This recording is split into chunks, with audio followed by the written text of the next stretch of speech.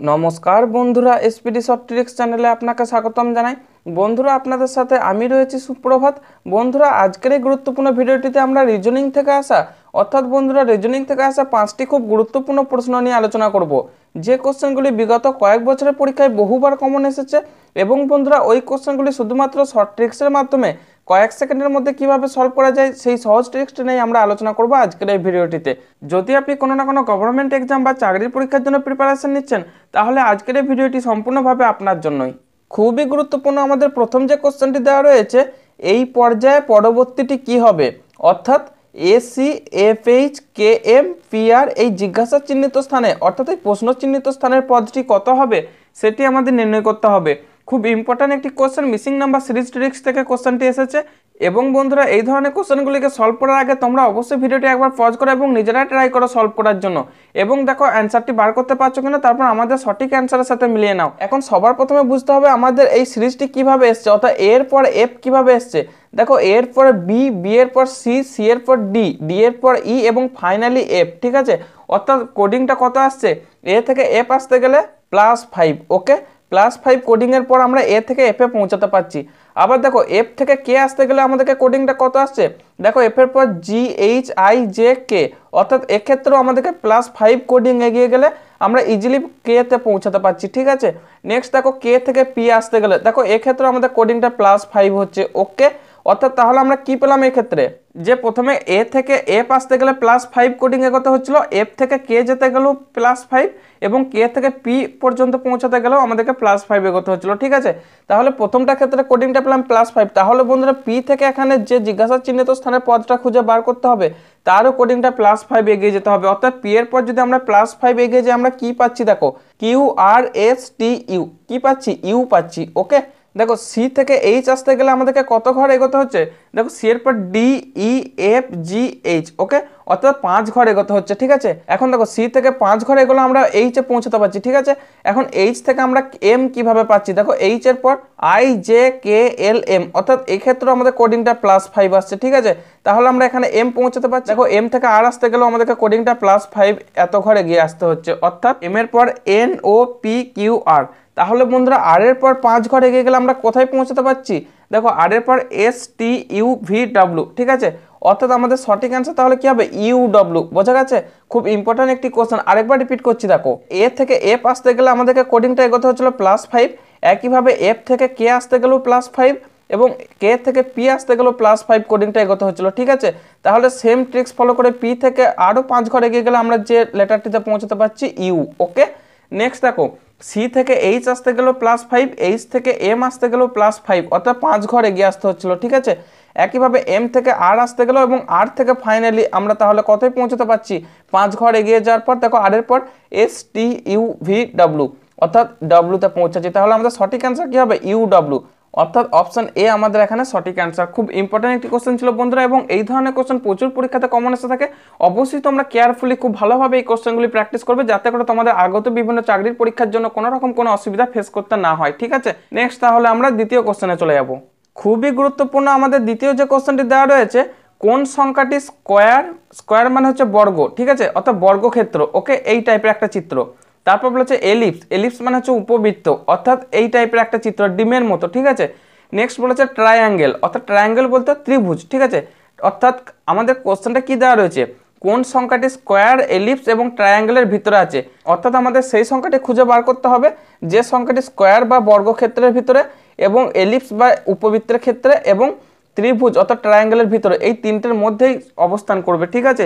সেই সংখ্যাটি আমাদের এখানে খুঁজে বার করতে হবে। এখন আমাদের এক্ষেত্রে অপশনগুলোর দিকে ফলো করো। অপশনগুলো থেকে আমরা এই ধরনের কোশ্চেনগুলো অ্যান্সার বার করব। যাতে করে বন্ধুরা আমাদের খুব কম সময়ের মধ্যে এই ধরনের কোশ্চেনগুলো অ্যান্সার আমরা শর্টকাট উপায়ে বার করতে পারি, ঠিক আছে? দেখো অপশন এ আছে আমাদের ওয়ান ওকে এখন ওয়ান সংখ্যাটা খুঁজে বের করো। এইখানে হচ্ছে ওয়ান সংখ্যাটা। কিন্তু দেখো, এখানে ওয়ান সংখ্যাটা শুধুমাত্র একটা রেক্ট্যাঙ্গেল বা আয়তক্ষেত্রের ভিতর রয়েছে ওকে অন্য কোনো চিত্রের মধ্যে এটি নেই। তাহলে আমাদের অপশন এ এখানে হবে না, ঠিক আছে?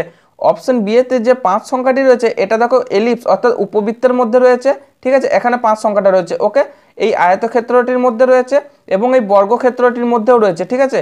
কিন্তু এখানে ত্রিভুজের বাইরে, ওকে? অপশন বিও এক্ষেত্রে আমাদের সঠিক হবে না। এরপর অপশন সি লক্ষ্য করো। দেখো অপশন সি অ্যান্সারটি আছে সিক্স ঠিক আছে? এখন সিক্স সংখ্যাটা দেখো এখানে রয়েছে, ওকে? যেটি অলরেডি এই বর্গক্ষেত্রের মধ্যেও রয়েছে, এই এলিপস বা উপবৃত্তের মধ্যে রয়েছে। কিন্তু বন্ধুরা, ত্রিভুজের বাইরে রয়েছে, ঠিক আছে? তাহলে আমাদের অপশন সিও এখানে সঠিক হবে না। ফাইনালি আমাদের যে অপশনটি পড়ে রইল অপশন ডি অর্থাৎ অপশন ডি এ দেওয়া আছে সংখ্যাটা সেভেন সেভেন বা সাত সংখ্যাটির জন্য দেখো, এখানে সাত সংখ্যাটা রয়েছে, যেটা অলরেডি এলিপস বা উপবৃত্তের মধ্যেও রয়েছে। ত্রিভুজের মধ্যেও রয়েছে এবং বন্ধুরা এই বর্গক্ষেত্রটির মধ্যেও রয়েছে, ঠিক আছে?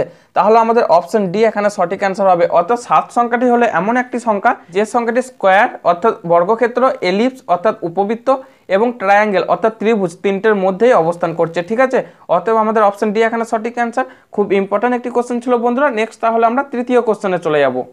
খুবই গুরুত্বপূর্ণ আমাদের তৃতীয় যে কোশ্চেনটি দেওয়া রয়েছে, যদি মিঞ্জুরের সংকেত three one two five four seven এটা হয়ে থাকে এবং টাডা, টি এ ডিএ এর কোড হচ্ছে সিক্স এইট নাইন এইট, ঠিক আছে? তাহলে মাদুরাইকে কীভাবে সংকেত করা হয়? খুবই ইম্পর্ট্যান্ট একটি কোশ্চেন দেখো, এই ধরনের কোশ্চেনগুলোকে আমরা কীভাবে সলভ করব? সবার প্রথমে আমরা কোডিংটা লিখে রাখব অর্থাৎ M I N J U R ঠিক আছে? এখন মিঞ্জুর থেকে দেখো কি আসছে? তিন, এক, দুই, পাঁচ, চার, সাত ওকে একইভাবে ta-da T A D A এটা দেওয়া আছে, ঠিক আছে? টাডা থেকে কোডটা কত দেওয়া আছে? সিক্স এইট নাইন এইট, ঠিক আছে? এখন দেখো টি এর কোড কত পেলাম? ছয়। এর কোড পেলাম আট। এইভাবে কোডগুলো আমরা পাচ্ছি, ঠিক আছে? তাহলে মাদুরায়ের কোড আমরা কীভাবে বার করব? এম এর কোড কত পাবো? দেখো এম এর কোড পাচ্ছি আমরা তিন ওকে তাহলে প্রথমে আমরা তিন সংখ্যাটা লিখলাম। তারপর দেখো এ দেওয়া আছে। এর জন্য কোডটা কত হবে? এখানে দেখো এর কোড আট আছে, ঠিক আছে? তাহলে এখানে কোডটা হলো আট ওকে নেক্সট আছে মাদুরাইয়ের ডি অক্ষরটা।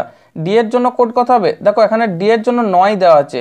তাহলে থ্রি এইট নাইন তারপর দেখো ইউ এর জন্য কোড বার করতে হবে। ইউ এর জন্য কোডটা হচ্ছে ফোর ওকে অর্থাৎ থ্রি এইট নাইন ফোর হলো ফাইনালি দেখো আর এ আই আর এর জন্য কোড হচ্ছে সেভেন ঠিক আছে? তারপর দেখো এর জন্য কোড হচ্ছে এইট ওকে এবং ফাইনালি আয়ের কোড হচ্ছে দেখো এক, ঠিক আছে?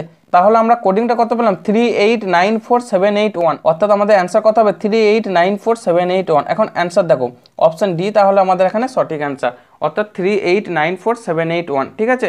বন্ধুরা, এই ধরনের কোশ্চেনগুলোকে আমরা এইভাবে ফলো করব, অর্থাৎ প্রত্যেকটি অক্ষরে কোডিংগুলো বুঝে নিলে তারপর আমরা ইজিলি এই ধরনের কোডিংগুলো বার করতে পারব। নেক্সট খুব ইম্পর্টেন্ট আমাদের চতুর্থ কোশ্চেনটিতে চলে যাব। নিম্নলিখিতগুলোকে যুক্তি সহকারে পরপর সাজাও। অর্থাৎ আমাদের এক নম্বরে দেওয়া আছে ফ্রগ ফ্রগ মানে হচ্ছে ব্যাং ঠিক আছে? তারপর দেওয়া রয়েছে ইগল ওকে অর্থাৎ ইগল বা ইগল পাখি গ্রাস হপার মানে হচ্ছে ঘাস ফড়িং। চার নম্বরে আছে স্নেক বা সাপ এবং পাঁচ নম্বরে আছে গ্রাস বা ঘাস। এরপর আমাদেরকে খুঁজে বার করতে হবে যে কোনটার পর কোনটা এখানে আসবে। অর্থাৎ এখানে একটা খাদ্য খাদক শ্রেণি চলে এসছে, ঠিক আছে? অর্থাৎ খাদ্য খাদক শ্রেণি অনুযায়ী কে আগে আসবে, কে পরে আসবে, এইভাবে আমাদের বুঝতে হবে। প্রথমে গ্রাস, অর্থাৎ অপশন আমাদের পাঁচ সংখ্যাটা প্রথমে আসবে, ঠিক আছে? নেক্সট দেখো গ্রাসকে খাচ্ছে গ্রাস অপার বা ঘাস ফড়িং তাহলে এখানে তিন সংখ্যাটা এলো, যেহেতু তিন নম্বরে গ্রাস অপার আছে। একইভাবে দেখো গ্রাস অপারকে কে খাচ্ছে? ব্যাং খাচ্ছে। অর্থাৎ তারপরে সংখ্যাটা কত হবে? এক হবে, ঠিক আছে? ব্যাংকে এরপর কে খাচ্ছে? দেখো, ব্যাংকে সাপ খাচ্ছে। তাহলে সংখ্যাটা কত হলো? চার হলো। ফাইনালি সাপকে কে খাচ্ছে? ইগল পাখি খাচ্ছে, ঠিক আছে? তার মানে হচ্ছে এখানে লাস্টে হবে দুই, ঠিক আছে? অর্থাৎ আমাদের অপশান কি হবে? Five three one four two ঠিক আছে? এখন আমাদের অপশান লক্ষ্য করো, কোথায় এই অপশনটা আছে? অপশান সি তাহলে আমাদের এখানে সঠিক অ্যান্সার ওকে অর্থাৎ প্রথমে গ্রাসকে খাচ্ছিল গ্রাস হপার তাহলে পাঁচের পর আমরা পেলাম তিন গ্রাস হপারকে খাচ্ছে এরপর ব্যাং অর্থাৎ এক, ঠিক আছে? এরপর দেখো, ব্যাংকে খাচ্ছে সাপ, অর্থাৎ চার, ঠিক আছে? সাপকে খাচ্ছে, ইগল পাখি মানে দুই নম্বর, ঠিক আছে? তাহলে আমাদের অপশন হবে five three one four two অর্থাৎ অপশন সি এখানে সঠিক অ্যান্সার খুবই ইম্পর্ট্যান্ট একটি কোশ্চেন বন্ধুরা, এই ধরনের রিজনিং কোশ্চেন আমাদের প্রচুর পরীক্ষাতে কমন এসে থাকে। অবশ্যই তোমরা এই ধরনের কোশ্চেনগুলো বারে বারে প্রচুর পরিমাণে প্র্যাকটিস করতে থাকো। যাতে করে যে কোনো চাকরির পরীক্ষাতে তোমরা ইজিলি এই ধরনের কোশ্চেনগুলোকে অল্প সময়ের মধ্যে সলভ করে আসতে পারো। খুবই গুরুত্বপূর্ণ আমাদের পাঁচ নম্বর যে কোশ্চেনটি দেওয়া রয়েছে, লুপ্ত সংখ্যাটি নির্ণয় করো। অর্থাৎ মিসিং নাম্বার রিজনিং ট্রিক্স থেকে এসেছে কোশ্চেনটি আমরা যদি এই বরাবর, অর্থাৎ হরাইজন্টালি যদি ফলো করি, দেখো সংখ্যাগুলো এক এককের, অর্থাৎ তিন, পাঁচ, আট, সাত, এই ধরনের আছে, ঠিক আছে? কিন্তু উপর নিচে যখন ফলো করব, অর্থাৎ উপর নিচে ফলো করলে দেখো তিন, চার, পাঁচ, আটান্ন, এখানে আটান্ন সংখ্যাটা যথেষ্ট বড় সংখ্যা। একইভাবে দ্বিতীয় স্তম্ভটি ক্ষেত্রে পাঁচ, ছয়, দুই, আটান্ন, ঠিক আছে? এই ধরনের কোশ্চেনগুলোকে আমরা তাহলে কীভাবে ফলো করব? সবসময় উপর নিচে ফলো করব। কেননা বন্ধুরা, এই ধরনের কোশ্চেনগুলোর ক্ষেত্রে এই ছোট সংখ্যাগুলো থেকে এই বড় সংখ্যাগুলো ফিরে এসেছে এবং কীভাবে ফিরে এসেছে সেটা আমরা বুঝতে পারলে ইজিলি আমরা এই জিজ্ঞাসা চিহ্ন স্থানের সংখ্যাটা অর্থাৎ এই প্রশ্ন চিহ্ন স্থানের সংখ্যাটা কত হবে বার করতে পারব। তাহলে আমাদের ফিরে যাচ্ছে দেখো আমাদের কোশ্চেনটিতে এখন দেখো তিন, চার, পাঁচ থেকে কীভাবে আটান্ন আসছে? দেখো আমরা যদি তিন ইন্টু চার করি, কত হচ্ছে? চার তিনে বারো। বারোর সাথে যদি আমরা পাঁচ গুণ করি, কত পাচ্ছি? ষাট পাচ্ছি। কিন্তু আটান্ন পাচ্ছি না। এখন ষাট থেকে আটান্ন পেতে গেলে আমাদেরকে কি করতে হবে? যদি আমরা মাইনাস দুই, অর্থাৎ দুই যদি বিয়োগ করি, দেখো আমরা ইজিলি আটান্ন পেয়ে যাচ্ছি, ঠিক আছে? এরপর আমাদেরকে লক্ষ্য করতে হবে যে সেম ট্রিক্সটি কি আমাদের দ্বিতীয়টির ক্ষেত্রে ফলো করছে? তাহলে আমরা বুঝতে পারব যে আমরা সঠিক পথে এগিয়ে যাচ্ছি। তাহলে এই ট্রিক্সটির মাধ্যমে আমরা ফাইনালি এই কোশ্চেনটিকে সলভ করতে পারব। এখন দেখো আমাদের দ্বিতীয় স্তম্ভটির ক্ষেত্রে কি পাচ্ছি? দেখো, দ্বিতীয় স্তম্ভটির ক্ষেত্রে পাঁচ ইন্টু ছয় ইন্টু দুই যদি আমরা বার করি, কত পাচ্ছি? পাঁচ ইন্টু ছয় মানে হচ্ছে তিরিশ, ঠিক আছে? তার সাথে যদি আমরা দুই গুণ করি, দেখো তিরিশ দুগুণে ষাট ওকে এখন ষাট থেকে দুই বিয়োগ করলে কত পাচ্ছি? আটান্ন পাচ্ছি। তার মানে বুঝতে পারলাম বন্ধুরা, এই আটান্ন সংখ্যাটিও সেম ট্রিক্সের মাধ্যমে এখানে ফলো করে এলো, ঠিক আছে? তাহলে আমাদেরকে বুঝতে হবে যে থার্ড ট্রিক্সটির ক্ষেত্রেও এটা আসছে কিনা। এখন আট, চার এবং দুই, এই তিনটে সংখ্যাকে গুণ করলে কত আসে? আট ইন্টু চার মানে হচ্ছে বত্রিশ বত্রিশ ইন্টু দুই মানে হচ্ছে, দেখো চৌষট্টি, ঠিক আছে? চৌষট্টি থেকে দুই বিয়োগ করলে আমরা কত পাচ্ছি? বাষট্টি পাচ্ছি। ওকে? ইজিলি বাষট্টি সংখ্যাটা পেলাম। অতএব আমরা বুঝতে পারলাম জিজ্ঞাসা চিহ্ন স্থানের সংখ্যাটা অ্যাকচুয়ালি কত হবে? সেটা হবে এই তিনটে সংখ্যার গুণফল থেকে দুই বিয়োগ করতে হবে। অর্থাৎ সাত ইন্টু ছয় ইন্টু তিন কত হচ্ছে?